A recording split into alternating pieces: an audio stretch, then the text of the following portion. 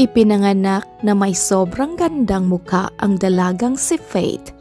Kaya naman halos lahat ng mga taong nakakasalamuha niya ay hangang-hanga sa natural niyang ganda. Dalawa silang magkapatid at si Faith ang bunso. Minsan pa'y tinutukso nga siya ng sarili niyang kapatid pero telabay bumalik ang kanilang pangamba nang mapagpasyahan ni Faith na magtungo sa syudad upang doon maghanap ng mapapasukang trabaho. Namuhay nang may takot sa kani-kanilang loob ang mga magulang ng dalaga, lalo pa noong magsimula na itong mag-aral. Sa bukid sila nakatira at nilalakad lamang ni Faith ang paaralan magmula pa sa kanilang bahay. Ngunit nawala naman ang takot na naramdaman ng kanyang mga magulang para sa kaligtasan ng kanilang anak nang makagraduate ito sa elementarya, high school at kolehiyo. Dahil dooy, napanatag ang loob ng kanyang ama at ina dahil alam nilang kaya na ng dalaga ang kanyang sarili. Anak, bakit ka pala layo eh? May bakanting posisyon naman sa munisipyo Sinabi nga sa akin ni Mayor na kapag handa ka ng magtrabaho ay nakahanda na rin ang munisipyo para sa iyo. Pagsusumamo ng ina. Nay, gustuhin ko mang manatili dito sa lugar natin pero hindi po pwede. Magkano lang ba ang sahod sa munisipyo? Ang liit lang po kumpara sa possible kong sahurin sa syudad. Ganti naman ang dalaga. Pero anak, alam mo namang malayo na yon dito, di ba? Buti sana kung kasama mo ang kapatid mo. Pero hindi rin eh. Kanya-kanya kayo ng gusto. Eh, alam mo namang nag-iingat lang kami ng tatay mo para sa'yo. Ngumiti naman si Faith saka hinawakan ang kamay ng nag-aalalang ina. Alam ko naman po yun, Nay. Pero hindi ba't nakaya ko namang protektahan ang sarili ko kahit noon pa? Nakaya ko nga iyon noon eh. Paano pa kaya ngayon? Hindi kakayanin ko rin. Ay naku anak, malaki ka na talaga at hindi ka na nagpapapigil. Pero saan ka ba tutuloy doon? May pera ka ba? Paano ang pang-araw-araw mo? May naipon naman po ako, Nay. Galing po iyon sa mga pinibigay mong alawan sa akin. Hindi naman din kasi ako magastos kaya masasabi kong malaki-laki din ang naipon ko. Tsaka kasama ko naman po si Ria, Nay. Nasabi niya na rin po sa akin na may matutuluyan na kami doon. Isa pa, hati na din po kami sa upa pati na sa iba pang mga bayarin. Pupunta ba si Ria mamaya sa bahay at kakausapin ko siya? Nay, okay lang po talaga ako. Huwag na po kayong mag-alala masyado. At kapag may lalaking lumapit po sa akin at magbalak ng masama, tatadyakan ko pa agad ang hinaharap niya para matauhan. Tawa pa nito. Masamang biro naman yan anak. Ang ipinagdasal mo ay sanay huwag kang mapahamak habang malayo ka sa amin ng tatay at kapatid mo. Ay sus, sinanay talaga bunso oh. Masyadong nag-alala sa'yo. Well, palibasa napakaganda mo. Biro pa ng kapatid niyang si Rico. Eh, syempre, babae itong kapatid mo. Hindi lang naman kami kay Faith nag-alala anak, kundi pati na rin sa'yo.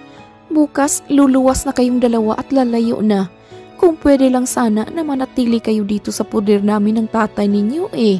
Pero alam namin naman na may mga sariling pangarap din kayo. Oo yan, nagsisente ka na naman nay. Uuwi naman po kami ni Bunso dito eh. Hindi nga lang linggo-linggo. Basta ang isipin mo lang, ginagawa namin tong lahat para makabawi kami sa lahat ng sakripisyo niyo ni tatay aahon din po tayo balang araw. At hindi nyo na kailangang tumanggap ng sandamakmak na labada at mag-araro sa bukid para lang may may pakain sa amin. At dooy, nagyakapan na nga ang tatlo. Hindi naman din kasi maiwasan ng ginang na hindi mangulila sa kanyang mga anak, lalo pat sabay itong luluwas sa syudad. O nang beses pa lang silang malalayo sa kanila kaya ganoon na lamang siya kapiktado. Kinabukasan tulad ng inaasahan ay maagang nagising si Faith upang mag-ayos at maya-maya lang ay darating na si Ria sa kanilang bahay. Sasabay na din ang Kuya Rico niya sa kanila at mauuna lamang ito sa pagbaba dahil hindi naman sila parihas ng rotang pupuntahan. Pagdating ni Ria ay nagpaalam naman agad si Faith pati na rin si Rico sa kanilang mga magulang at nangakong palaging tatawag kapag nagkaoras. Gustuhin mang lingunin ni Faith ang dalawang matanda pero hindi niya magawa.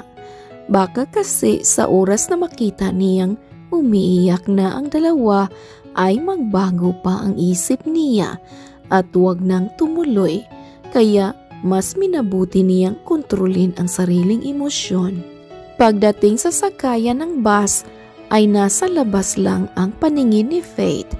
Alam niyang nagsasalita sa tabi niya ang kaibigan pero hindi niya na iyon pinakinggan.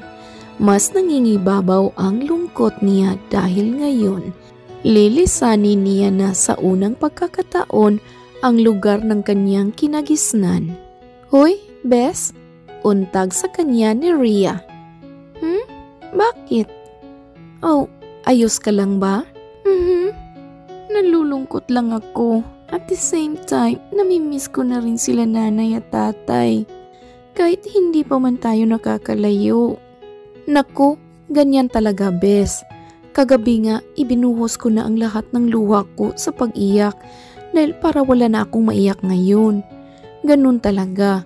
Kailangan nating malayo sa kanila para mag-grow din tayo as a person. Isa pa, this is for all of them naman din, di ba? Hindi naman pwedeng graduate lang tayo, tas mananatili tayong palamunin sa bahay. Kung ako sa'yo, labanan mo ang lungkot mo dahil pagdating na pagdating natin sa syudad, hamon ng buhay agad ang sasalubong natin. Bawal iyakin doon, patatagan ng loob. Isang pilit ng ngiti lamang ang pinakawalan ni Faith, saka sinulyapan rin ang kanyang Kuya Rico na nasa tapat lamang din ng kanilang kinauupuan. Nang magsimula ng umandar ang bus, ay doon na mas nalungkot si Faith pero tulad nga ng sabi ng kaibigan niya, kailangan niyang labanan ang sariling lungkot para makasurvive sa hamon ng buhay. Unang bumaba ang kanyang Kuya Rico makalipas ang ilang oras at nagpaalam na sa kanya. Mamimiss niya rin ang kapatid kahit panay lamang ang asara nila noon. Kitang-kita niya pa ang pamamaga din ng dalawang mata ng kapatid Ibig sabihin lamang galing ito sa matinding pag-iyak. Kahit pilit pa nitong sinasabi na hinding hindi siya iiyak dahil nga lalaki siya. Ipinikit na lamang ng dalaga ang kanyang dalawang mata para makatulog habang patuloy pa rin sila sa pagbiyahe. Makalipas pa ang ilang oras ay nakarating na nga sila sa syudad at kahit antok na antok pa ay kailangan na nilang lisanin ang bus at sumakay ng jeep papunta sa bahay na kanilang tutuluyan. Pagdating ay hindi naman maiwasang hindi manindig ng mga balahibo ni Faith sa katawan. Madilim kasi ang daanan papunta sa uupahan nilang bahay at walang kaisa-isa man lang ilaw. Bes, hindi mo naman sinabi sa akin na medyo malayo pa pala sa kalsada ang bahay na tutuluyan natin. Kinakabahang wika ni Faith. Ano ka ba? Okay lang yan no? Tsaka hindi naman masyadong malayo. Madilim lang to ngayon dahil alas dos pa lang ng madaling araw. Wala na kasi ako nakita na mura bes eh, kaya ito na lang talaga ang huling alas ko. Hindi ba delikado dito kapag gabi? Oh, hindi naman din siguro bes dahil marami naman tayong magiging kapitbahay. Ano ka ba? Huwag kang ang nega dyan, no? Chill ka lang. Tumango na lamang din si Faith saka nagpatuloy lang sa paglalakad at totoo nga ang sinabi ni Ria na marami silang kapitbahay. Malaki naman din ang bahay na kanilang tutuluyan at sasakto lamang para sa kanilang dalawa. May dalawang kwarto, isang banyo at medyo malaking sala at kusina. May gate din kaya safe sila. Doon, isa-isa na muna nilang nilinis ang kanilang mga kwarto, saka muling umidlip. Nang magliwanag na ang paligid, ay sabay naman silang gumayak upang maghanap ng trabaho. Swerte namang nakahanap agad ng trabaho si Ria sa mas malapit habang si Faith ay namasukan sa isang factory. Natanggap naman siya agad at kinabukasan din ay nagsimula na. Alas 8 ang pasok ni Faith sa trabaho at alas 6 naman ang uwi niya. Magkaiba sila ng schedule ni Ria dahil 7am hanggang 5pm ang schedule nito sa kanyang trabaho. Medyo madilim na ang paligid kapag umuwi na ang dalaga galing sa trabaho, kaya hindi niya maiwasang hindi kabahan. Noong unay, wala namang nangyayari pero nang lumipas ang ilang araw ay napapansin na ng dalaga na parang may mga matang nakamasid sa bawat galaw niya. Bagay na labis niyang ipinag-alala dahil sobrang dilim ng daanan kapag siya'y umuwi. Bes, pwede mo ba akong hintayin mamaya sa pinagtatrabuhuan mo? Dadaanan na lang kita mamaya doon para magkasabay na tayong umuwi dito. Wika ni Faith isang araw habang kumakain sila ng umagahan. Ano? Eh, saan mo ba ako balak patambayin ng isang oras, bes? Tsaka, kailangan kong umuwi after ng trabaho ko dahil magsasaing pa ako at magluluto ng ulam para sa punan natin mamaya. Teka nga, bakit mo ba biglang naisip yan? Eh, kasi, kasi feel ko may mga matang nakasunod sa akin palagi, bes eh. Ano? So you mean may nakasunod sa'yo? Oo, noong una binaliwala ko lang pero halos nag-araw-araw na bes eh. Hindi ko tuloy maiwasang hindi kabahan lalo pat gabi na ako nakakauwi at medyo madilim na sa daan. Wala man lang kailaw-ilaw. Sino ba sa tingin mo ang sumusunod sa iyo? Kapitbahay kaya natin? Uh, hindi ko rin sure eh. Kasi hindi ko talaga nililingon bes. Natatakot ako. I-report kaya natin yan sa barangay. Kaso baka hindi tayo paniwalaan eh. Alam mo namang mga bagong muka lang tayo dito. Hindi naman din kasi maiiwasang walang magkagusto sa'yo dito eh. Ang ganda mo ba namang yan? Isa pa, noong dumating tayo dito, lahat ng mga lalaki na sa'yo ang mata. Magdoble ingat ka na lang bes ha. Hayaan mo kapag nakaoras ako, magtingin-tinginan ako ng bagong bahay na mauupahan natin. Okay, salamat Ria. Oo naman, sino ba namang magtutulungan kundi tayo lang? O siya sige na't baka malate na ako. Papasok na ako sa trabaho ha. Ikaw din, pagkatapos mo dyan, pumasok ka na rin. Tumango naman si Faith saka nagbigay lang ng isang pilit ng ngiti. Pagkatapos niyang kumain ay nag-ayos naman siya agad at ngumayak na papuntang trabaho. Kinagabihan, dahil nga kailangang marami ang magawa nilang produkto sa oras na iyon, kaya malapit nang mag alas 7 nang sila'y nakalabas ng trabaho. Ayan na naman at nagsimula na namang magtambol ang dibdib ni Faith ng mga sandaling iyon. Alam niya kasing sobrang dilim na ng daraanan niya at baka ano pa ang mangyari sa kanya. Kaya imbes na sumakay agad ng tricycle pa uwi, ay tumambay na muna siya sa labas ng building ng ilang minuto para huminga ng malalim. Ngunit ramdam na ramdam pa rin ni Faith ang mga matang nakatingin sa kanya. Pansin niya rin na wala nang masyadong tao sa labas ng building. Kaya ang ginawa niya, naglakad siya papunta sa mataong lugar upang makahingi ng tulong. Kung gaano kabilis nagsibagsakan ang kanyang mga pawis, ay ganoon din kabilis ang kanyang bawat hakbang. Ngunit habang patuloy siyang bumibilis, ay ramdam niya ring bumibilis ang lakad ng nasa kanyang likuran. Nakahinga lang siya ng medyo maluwag nang maaninag na niya ang mataong lugar at agad na nakita ang isang gwapo at matipunong binata na nooy nakasanda lang sa kanyang kotse.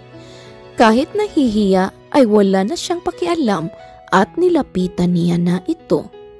Babe, panimula niya dito. Ah, kanina ka pa ba dito?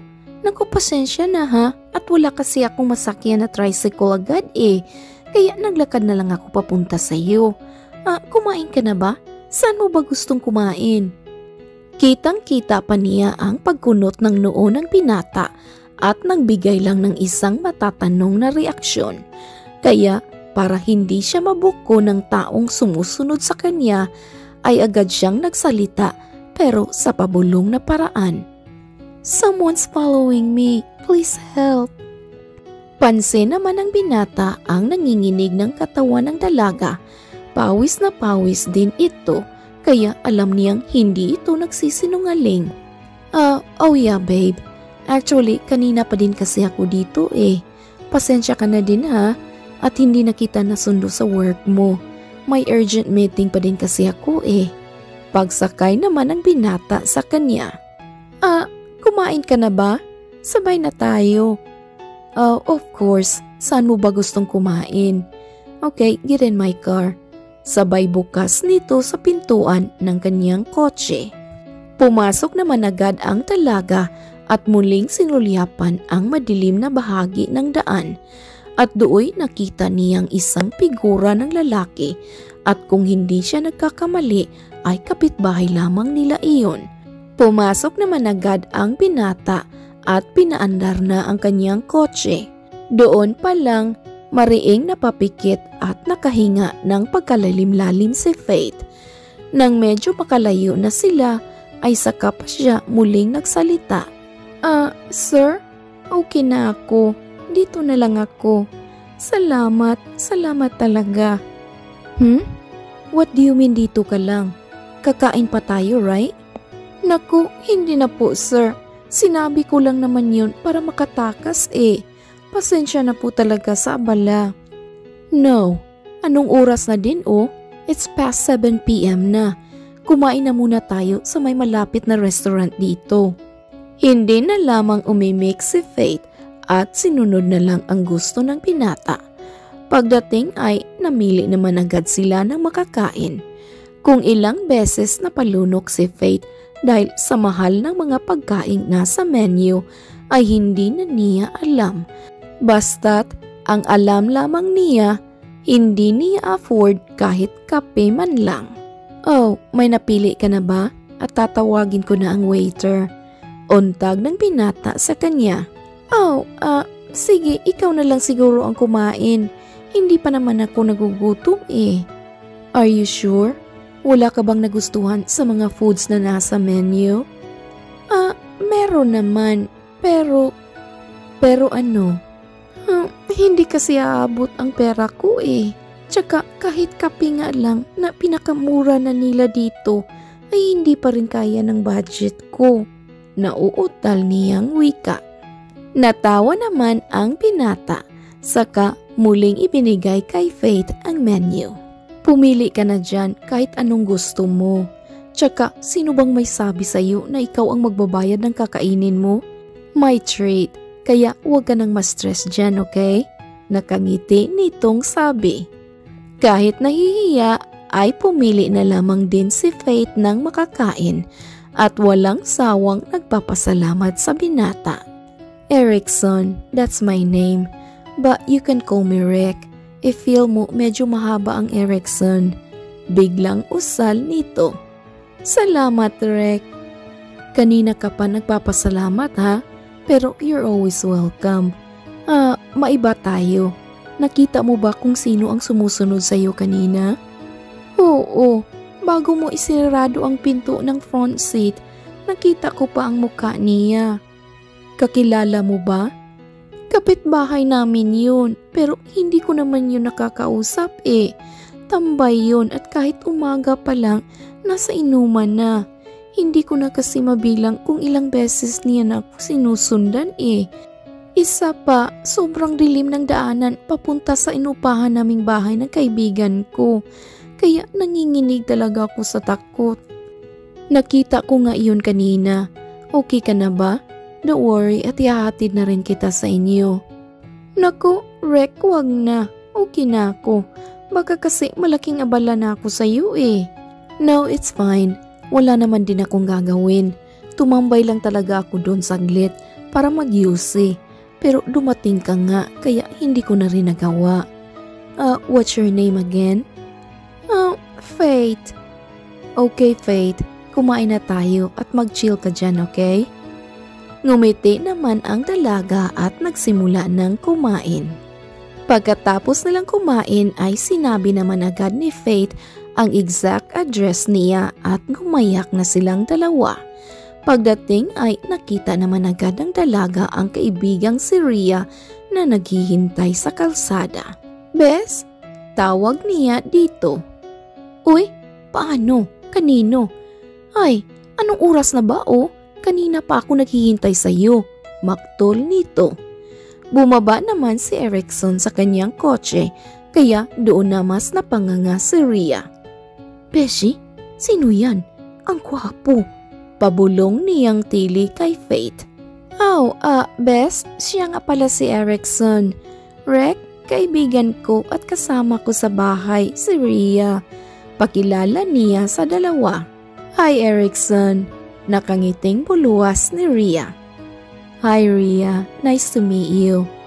Hey, 8pm na oh, bakit nasa labas ka pa? Hinihintay ko kasi itong kaibigan ko eh. Parang tambol na ang puso ko sa kaba. Kasi 6pm, nasa bahay na to. Eh anong oras na ngayon? May cellphone naman itong babaeng to pero hindi ko alam kung bakit hindi niya ginagamit. Wala na akong load. Naubos ko na kahapon nang tawagan ko si nanay. Nga pala Rek, salamat ha. Dito na lang ako. Baling niya sa binata. Hindi, ihahatid ko na kayo papasok at madilim nga ang daanan ninyo dito. Naku, hindi na. Anong oras na din kasi oh? Exactly. Anong oras na't hindi na dapat kayong naglalabas ng ganitong oras. Masyadong delikado. Buti sana kung nag-aaral kayo ng martial arts para maprotektahan niyo ang mga sarili ninyo. Pero hindi eh. Kaya sige na, hayaan mo nang ihatid ko kayo sa looban. Ay, oo naman, wala namang problema doon. Ikaw talaga beshi oh, bakit naman ayaw mong ihatid ka ng Prince Charming mo? Tukso pa nito sa kaibigan. Siniko naman agad ni Faith si Rhea at napailing na lang sa hiya Samantalang si Erickson ay ngumiti lang ng pagkatamis-tamis. At iyon na nga ang nangyari. Hinatid ni Erickson ang talaga hanggang looban. Akma na sana ding magpaalam ang binata nang mapansin niyang nanginginig ang katawan ni Faith. Are you okay? Pabulong niyang tanong. Oh, ah, oo, okay lang ako. Nauutal niya pang wika. Sinundan naman agad ni Erickson kung saan nakatitig ang talaga at dooy nakita niyang nakatingin si Faith sa isang lalaking nakaupo sa tapat ng kanilang bahay. Malagkit din ang titig nito sa dalaga kaya doon pa lang alam na ni Erickson na baka ang lalaking iyon ang tinutukoy ni Faith na sumusunod sa kanya. Dahil dooy Dali-dali namang hinawakan ng binata ang kamay ni Faith saka sinamahan na ang dalawa papasok sa bahay at agad na nilak ang mga bintana at pintuan. Siya ba ang lalaking sumusunod sa iyo? Tanong ng binata dito. Teka, alam ni Erickson Bess ang tungkol doon? At doon na nga kinuwento ni Faith ang lahat na nangyari pati na kung sino ang taong sumusunod sa kanya. Diyos ko, eh balibalita dito, adik daw yan. Nakasalubong ko pa yan kanina, bes, habang palabas ako. Ayun, tinitigan lang ako saglit mula ulo hanggang paa at umalis na agad.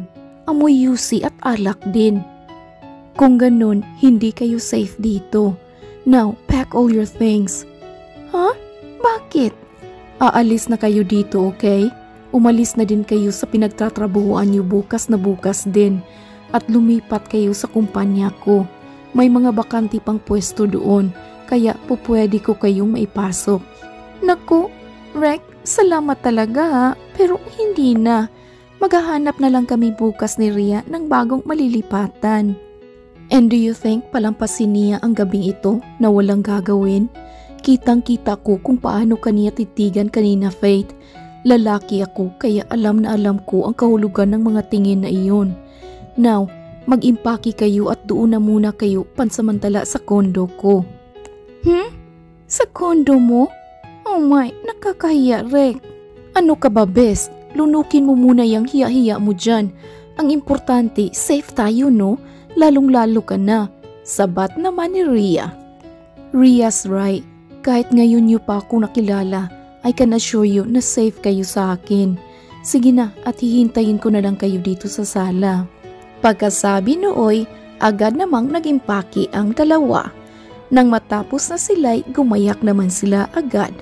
Kitang-kita pa ni Faith kung paano siya sinundan ng tingin ng lalaki pero iwinaksi na muna niya iyon sa kanyang isipan at nagpatuloy lang sa paglalakad.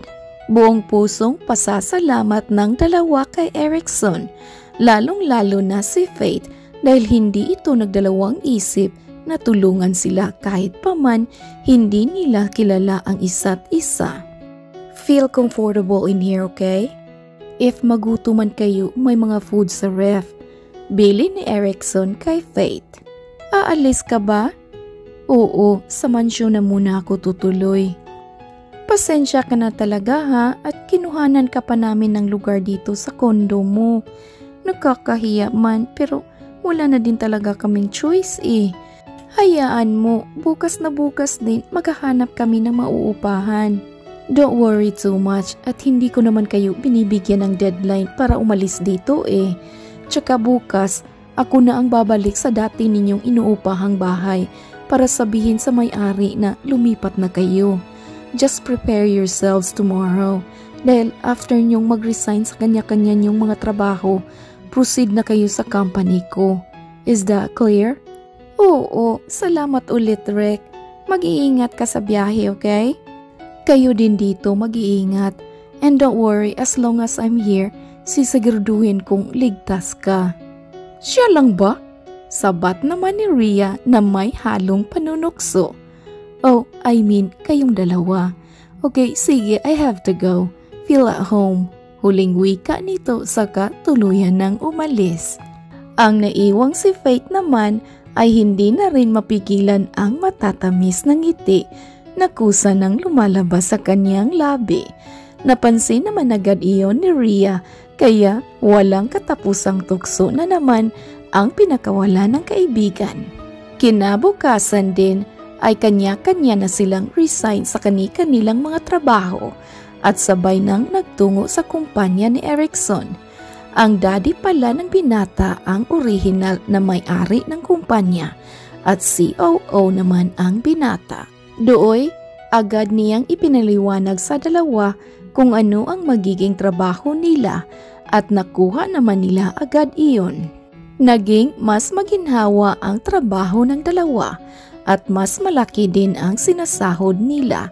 Kaya naman mas malaki na rin ang naipapadala ni Faith sa probensya. Nagkahanap naman sila ng bagong bahay na mauupahan at isang sakayan lamang ang layo nito sa kumpanya. Pero mukhang hindi naman kailangan ng dalawa na mamasahe dahil hinahatid sundo sila ni Erickson sa kanilang apartment. Sir Erickson, sa susunod, magkukommute na lang ako ha. Panimula ni Ria. Oh, why? Hindi ka ba komportable sa kotse ko, Ria? Sagot naman ng binata. Ay naku, komportable naman po, sir. Pero mukhang kayong dalawa kasi ang hindi komportable na nandito ako eh. Baka masira ko pa ang moment niyo. Natatawa nitong sabi. Hindi yan. Hindi lang naman dito sa kutsi ko na pwede kaming mag-moment nitong kaibigan mo eh.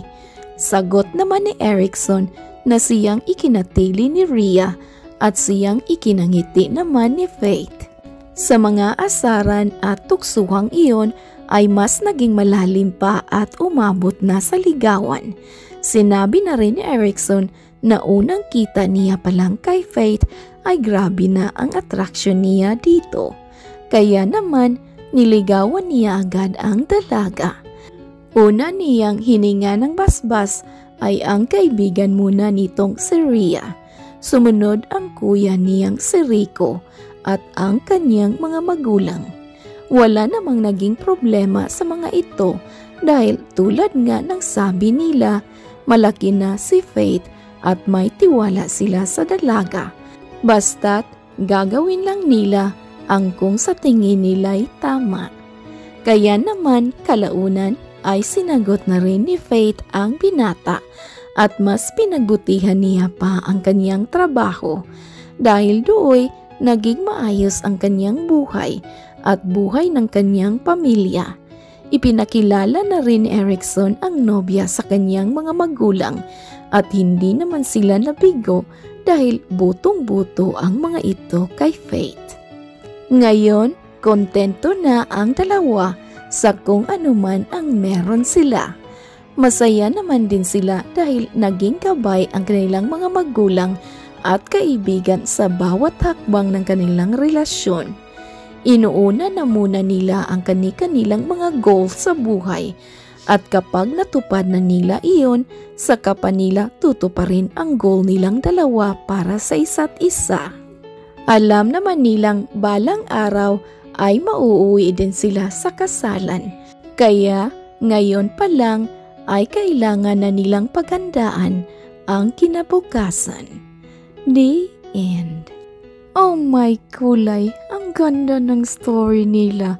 Ang bait naman ni Erickson. Oh my, I like this one, you know? Hindi lang gwapo at mayaman, hero pa. Oh my goodness, sana all. You know, there's a part na sinisipon ako. Yung part na when they left home Ah, they have to leave their parents para maghanap buhay. Oh my mama, buhay talaga. Okay, if you enjoy, please like and comment. Uh, thank you, Regine, for this beautiful story. Thank you all my subscribers and listeners. And kung hindi pa kayo nakasubscribe, please subscribe and don't forget to click the bell para ma-notify kayo kung may bagong upload tayo dito sa Kulay TV. Already, uh, this is Ethel McManaman saying, Bawat buhay ay may kulay. Thank you and take care. Dagan kayong salamat. See you sa next story.